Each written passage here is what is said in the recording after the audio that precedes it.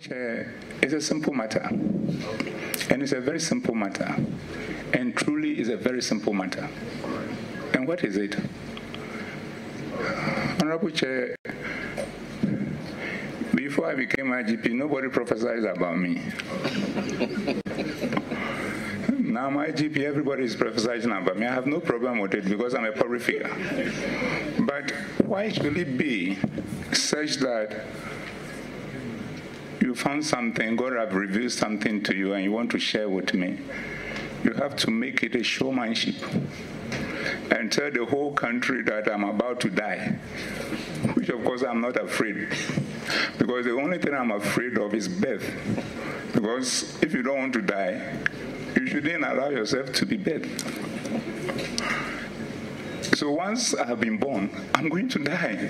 So as for death, the only thing I can do is probably become a friend of it so that he can treat me with some leniency.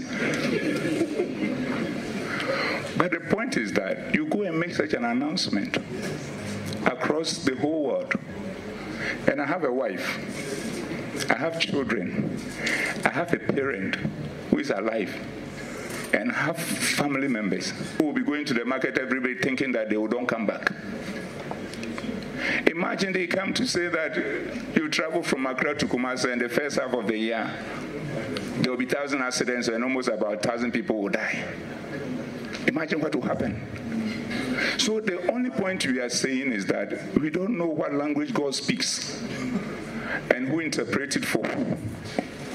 But the point is that if God speaks to you, and then you go out there, find as the same God to give you guidance as to how it should be communicated that will not affect the life of individuals in a manner that will put them in fear.